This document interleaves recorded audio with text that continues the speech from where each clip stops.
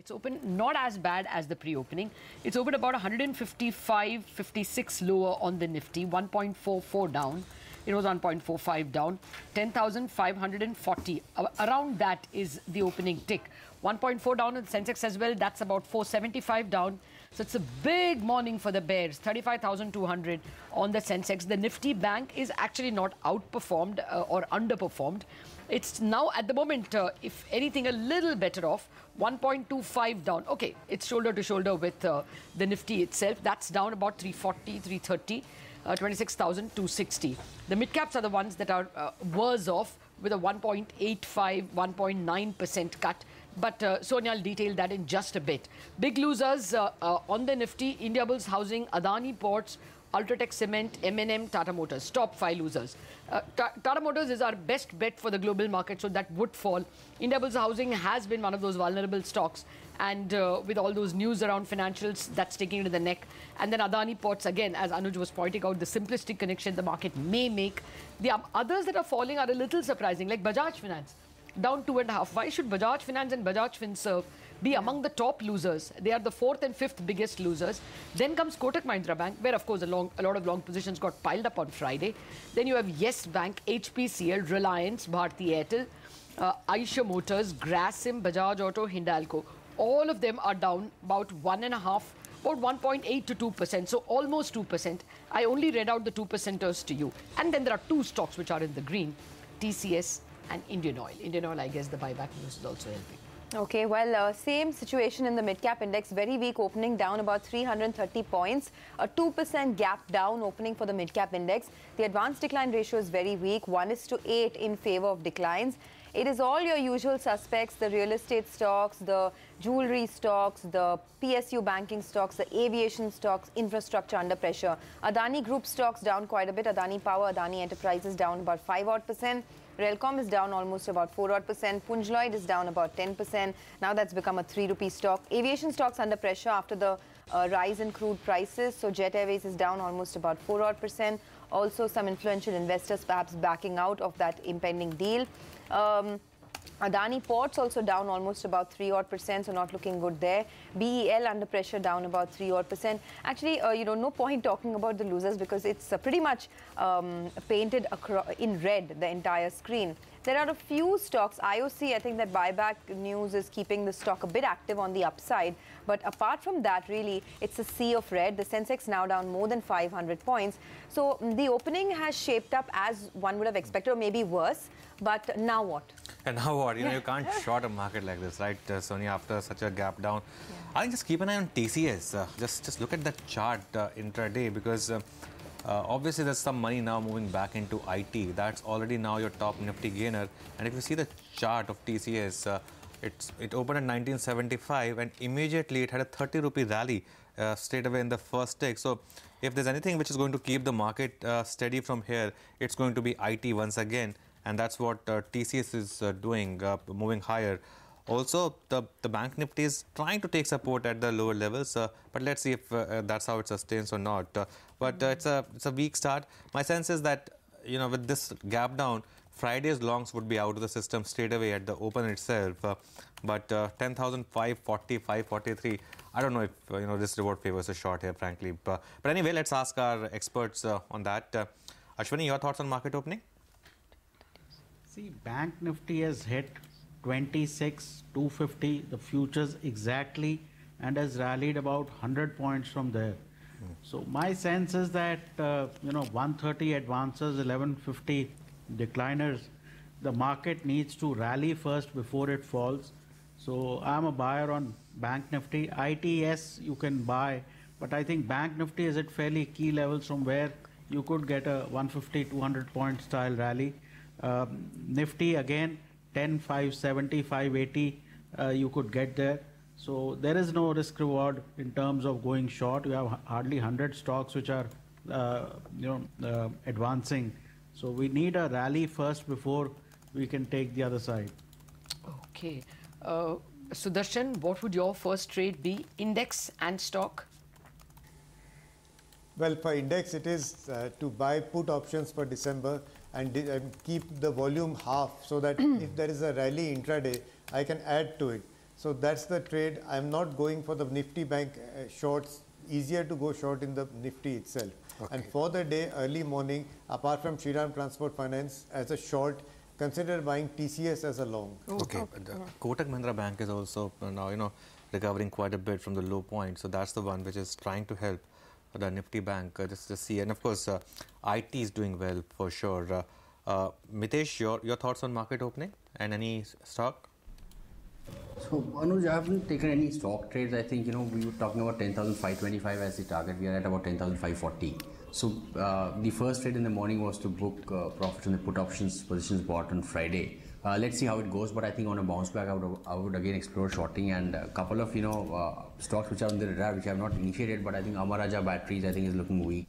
Uh, then I think you know uh, the ADAG group stocks are looking weak, so maybe there you can explore some shorting. But let's see how uh, if, if there's about uh, 30 40 point kind of a bounce back on the Nifty. Mm, That's exactly what I was going to ask you. You know, shorting opportunities in any of the Adani stocks rather than ADAG. Uh, I mean, look at Adani Power down 7% and DHFL as well, uh, you know, plumbing new lows. Mitesh, anything? Uh, I would rather choose Adani Enterprises Lata for the simple reason that Adani Power typically keep gets, keeps getting into F&O band. Though Adani Enterprises also does that, but I think it's still a more liquid uh, stock. Okay. And I think you know keeping a stop at about 148, 149. I think I think the stock will possibly head towards 132, 133 over the next few days. Okay, well, the big drag from the frontliners is coming from Reliance Industries now. It's down almost about 3 odd percent. And if you look at the contribution play, 30 points from the Nifty slide is uh, only attributable to Reliance Industries. Of course, the rest coming in from the HDFC twins, both HDFC Bank and HDFC.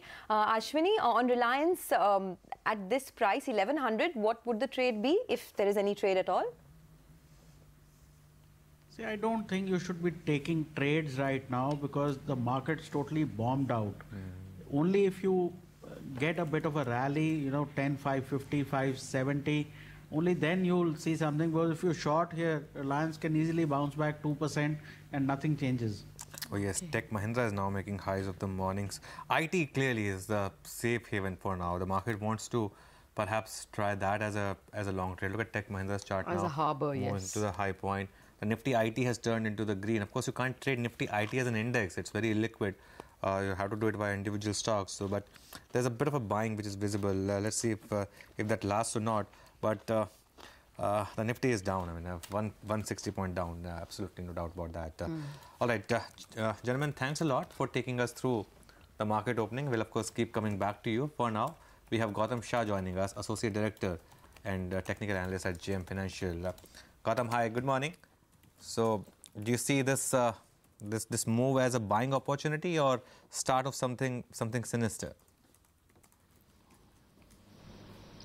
Well, Anuj, it does not look like a buying opportunity. I think uh, this is a very challenging uh, equities uh, environment, local and global. And you don't want to be a braveheart in this environment because I think there are too many factors that are against equities at this point of time. Uh, I think the manner in which the markets came off late last week, I think that was some indication that this is not just a natural reaction, but the resumption of the downtrend that you saw in the months of uh, September and October. Uh, let's not forget in the in those months we had a pretty severe decline you know almost a 1700 point uh, fall on the nifty in a very short span of time. So at around levels of uh, 10000 you know the market had turned a little oversold. Uh, and let's not forget early this year in the month of march also you had a bottom around the 10000 mark. So buyers keep coming in as the nifty gets at the border of four figures. This has happened a couple of times in the last one one and a half years.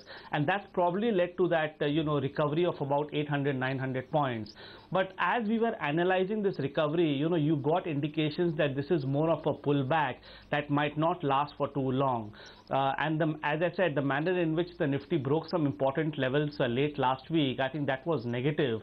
Just to highlight a few evidences here, I think uh, while the market pulled back the whole uh, month of November, you had the mid-cap index doing absolutely nothing. If it was a recovery after a bottom, you would have seen the rally to be more broad-based. That never happened. In fact, the CNX Mid-Cap 100 index was just in a band of about 2-300 points while the Nifty kept rallying. So that was red flag number one. Red flag number two was the fact that India VIX, you know, which should have actually collapsed down to levels of 15, 16, managed to remain steady around the 18, 19 mark and this was after a 900 point recovery for the Nifty. So that also I thought was a slightly negative sign. Thirdly, I think if you look at the volume activity, uh, September and October, the down months, you know, the volume activity was extremely high. But in the month of November, if you look at the average daily volume of the market, you would understand then it was well below average. So that was an indication that the trend was not in favor of the, you know, recovery that was uh, actually taking place. The chart patterns itself have not been all that great, given the fact that moving averages have been broken so easily in the last three or four trading sessions. And to top it all, the global equities environment has been so negative. You know, uh, while there were patches of brilliance by our markets, you know, when it did not uh, move in tandem with the US markets in the month of November. But I don't think India can escape a, a bear market in many of the global markets. And I do believe that many global equity markets are currently in a confirmed bear market. And therefore, at some point of time, you know, we will also get hit and we will move in tandem. Maybe not as badly as some of the other markets, but definitely we will also be hit. So putting all of this in perspective, we believe that a break of 10,600, which looks quite likely looking at the uh, open that we have today, I think that will almost confirm that the downtrend is very much in place and it could immediately take the Nifty down to about 10,400 and then possibly towards that October low of about 10,000, 10,100. So I, I don't think, uh, you know, this is a good uh, place to buy as yet and one should remain on the sidelines. This is a very unique December that is playing out out and you know one, one should just uh, stay on the sidelines and probably enjoy the holidays. Oh, okay. Uh, Gautam, uh, uh good morning. Uh, but uh, really, there will always be people who want to average down. So you say don't hold this falling knife till how long? you don't even expect that 10,000, which was a sucker for two times in the past year, to hold. Well, Lata, uh, you know, uh, that's a very difficult uh, question to answer because you have an important event in, in the next couple of days. Anything could happen. I could be proved wrong completely, but I go purely based on the evidence on the charts. And I think my marker on the upside is 10,850. Until the Nifty is below 10,850, you know, I would I would continue to work with downside targets. While the level of 10,000 has worked very well in the last, uh, you know, couple of times, I still feel that there are possibilities of the Nifty moving into that band of 9,700 to 9900 which I highlighted in my last interaction as well However, the last time around you had the Nifty rebounding from there. The next attempt could possibly see the market get into that number, mainly because if when I see the setup of the US markets, I believe that a bare minimum drop of 15% even from these levels is coming. And if that were to happen, I'm not saying that India will move in tandem, but definitely it will also get impacted with this uh, global equities uh, decline. Okay, Gautam, hi, good morning. In fact, you must congratulate you because a few months back you were, you know, one of the first people to tell us that there is a big downtrend underway and you spoke about that level of 9900 on the Nifty. But you also said that um, there is more downside left in the financials and there's a big breakdown in some of the key names. Uh, tell us more about that. Do you think the next leg of the downside will be led by financials and will it be private sector banks, public sector banks? What are you looking at? Well, Surya, if you look at the financials, you know, they have done exceedingly well the month of uh, November. You know, a bank nifty which was at 24,500 ran up all the way to levels of 27,000. So that's a phenomenal 2,500 point recovery that has happened there.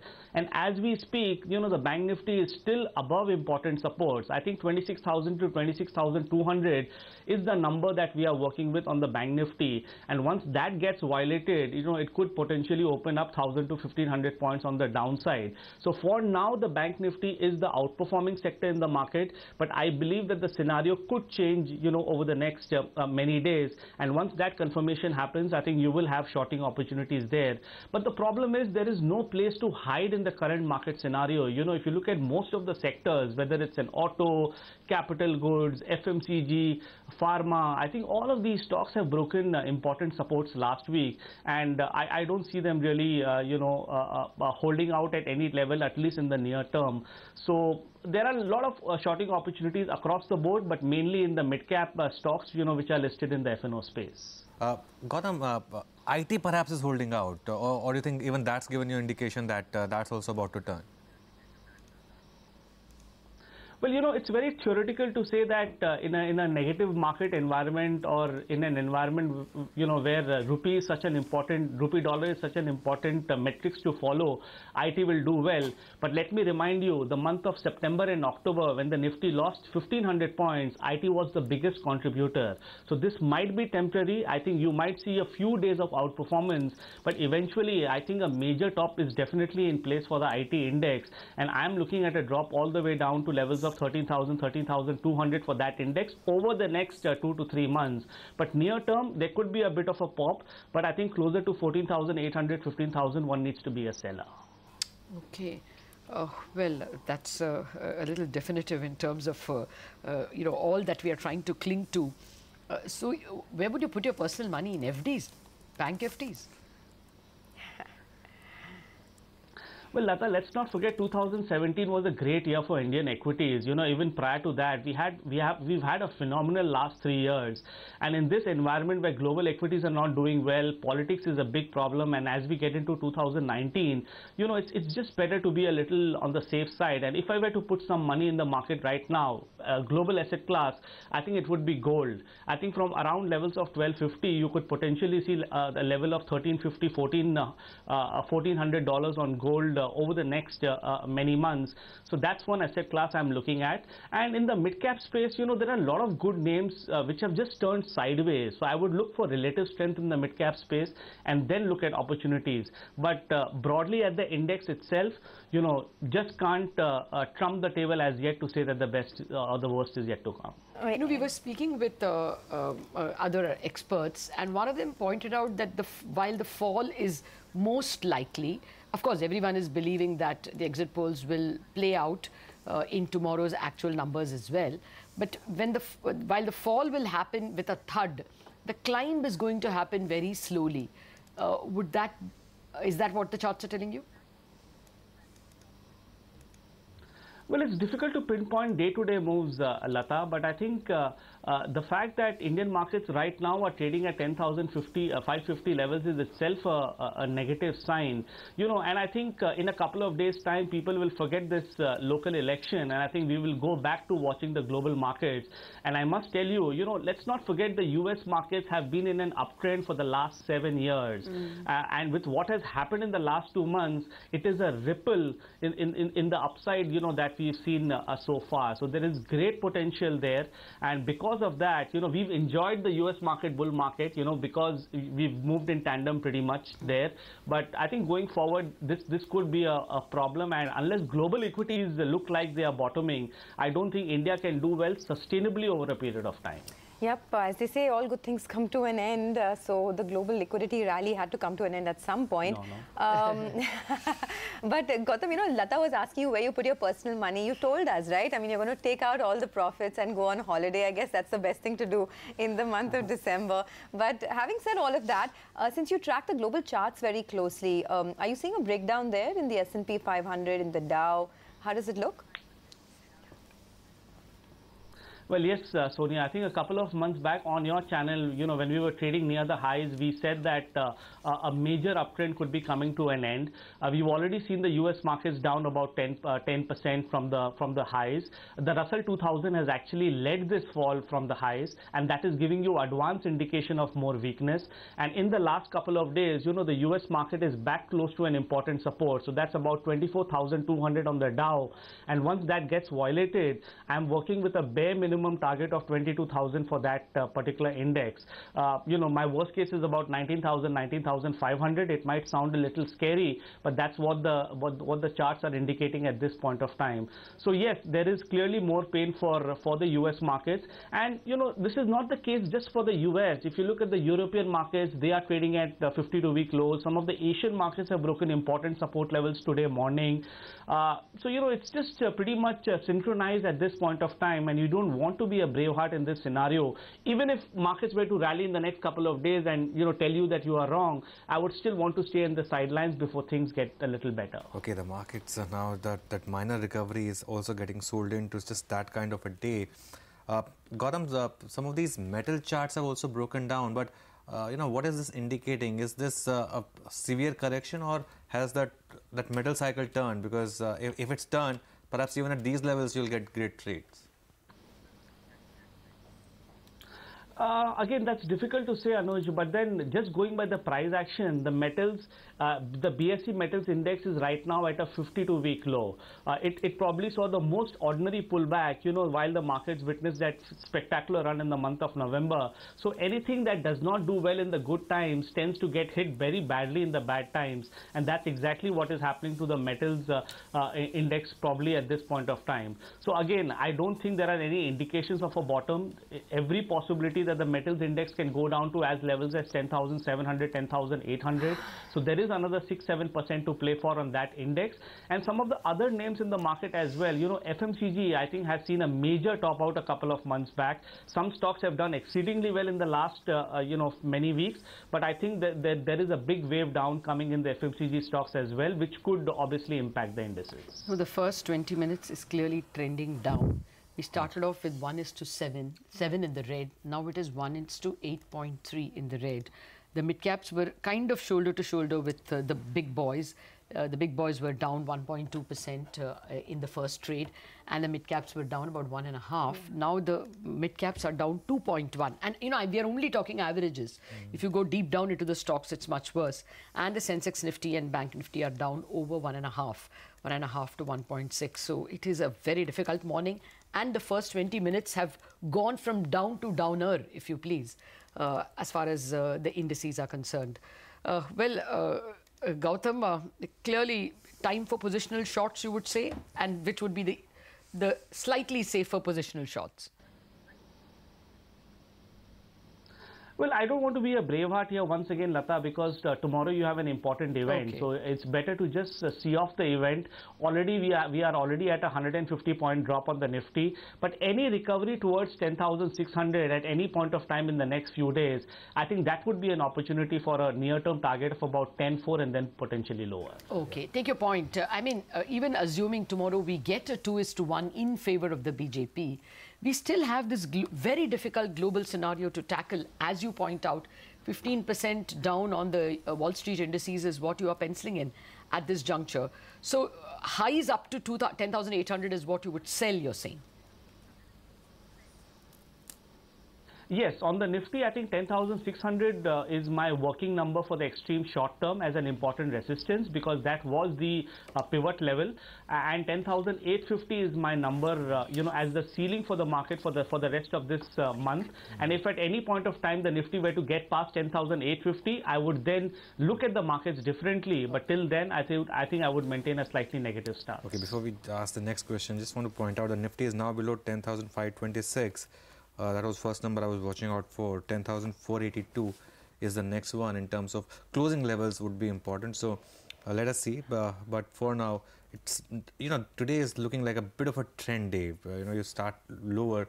You thought how much lower can you go, and then the market recovers a bit and then moving lower. Having said that, I think uh, perhaps exit poll just happened to be there. Uh, uh, mm. The market no, the could have the, the global environment was such, uh, and you had a perfect cocktail. The crude crude prices rallied and equity markets were down. Both are negative. And of course, uh, you know, on Friday on a rally, you saw that big FISL number, 800 crores. Uh, uh, and you had, uh, you know, a big rally on, on, your back on Friday. So mm. a lot of adjustments perhaps taking place. Uh, I would want to see where we where the hemorrhage stops. That would be the key point to watch. Okay. Well, before we let you go, just a final word from your end on crude. I mean, you know, that was the big reason why our market started to rally in the first place, right? The fall that we saw. But that story is also over, back above 62. Um, what's the prognosis there? Well, yes, Sonia, I think you cannot market the fall in crude and dollar anymore. I think it was that marketing that took the uh, Indian markets up so well in the month of November. And now I think uh, NYMEX crude is likely to uh, find a sort of a mini bottom around the level of 50 and it's going to turn range bound between 50 and 58. And even if you look at the uh, rupee dollar, I think around the 69, 69 half mark, you know, there is a lot of support. So even that, um, you know, uh, uh, currency is likely to be in the band of 69 to 70 and, and, and with these two metrics now pretty much in a range, uh, which was a major positive the last month, I don't think, you know, you can market this anymore uh, uh, to call for great bullishness for Indian markets. Fair point. Thank you very much, uh, Gautam Shah, for patiently answering all our questions and giving us a backdrop uh, which you can't help uh, is not in favor of the bulls by any uh, any measure. a 15% drop in global indices is what we need to keep in mind. So, whichever way, uh, I mean, whatever solace we may get in tomorrow's polls, if any, uh, is still getting sold into because the global uh, backdrop looks extremely difficult at this point in time. Well, uh, you know, since the exit poll will anyway be uh, an important point to be discussed all through the day, let's play you some important expert opinion that we got uh, post the exit poll results. Listen in, we are back. Personally speaking, it's a great thing what's happening because the, you know, what it shows is the very short journey from invincibility to fearful losses. And I think the lesson for everybody is you can't play around with the economy. And if you play around with the economy, the, pen, the voters will penalize you. So I think if it's a 3-0 or a 4-0, I think there will be a great relief in the market that the ruling party will come back and do something serious to the economic side of the, of the business and correct things which have gone wrong and we should see substantial upliftment. So I think a great loss is maybe a great victory for the stock market as it may turn out to be. I don't think it will hurt the market at all. In fact, you know, oil will hurt it more than today's oil price increase may hurt it more, little bit than even this verdict. I think it, verdict is 3040 to, as, as, I'm saying again, it's maybe a little different view, but it will benefit the market because then you know for two things for sure.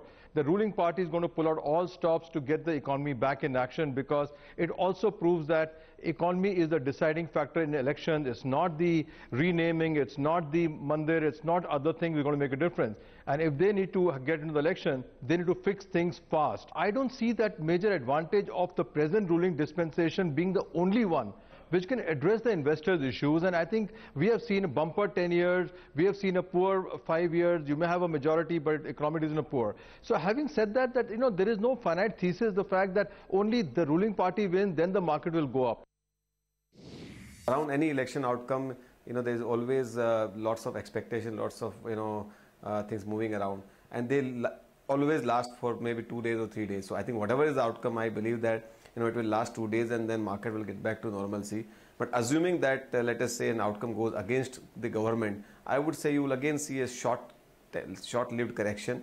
Uh, or you know temporary narrative which is getting built that oh my god what will happen to the now this is the this is the uh, sort of uh, uh, trend towards what's going to happen in uh, uh, 2019 but i do believe that market narratives keeps on changing. Then market can also build a narrative saying that oh people will uh, vote for state differently and central differently. So i think it depends on you know what is the underlying tone of the market and market builds narrative around that. Political events are not going to be really important in my opinion whatever is significant outcome. Of course if let let us say there's a clear cut direction in favor of victory uh, victory in favor of bjp or as market expects the outcome you will see by and large market stabilizing, which has been very volatile of late. Every day we have sort of, uh, you know, fairly volatile uh, uh, news flow and outcome happening. So I think we are in that stage of market and I don't think in this kind of stage of market, any positive outcome will kind of lead to a directional sustainable rally. And having said that, still 2019 is, uh, you know, elections are away. So I, I think we will go back to day-to-day -day stuff and we will have to you know look for make our hypothesis how market thinks about earnings and fundamentals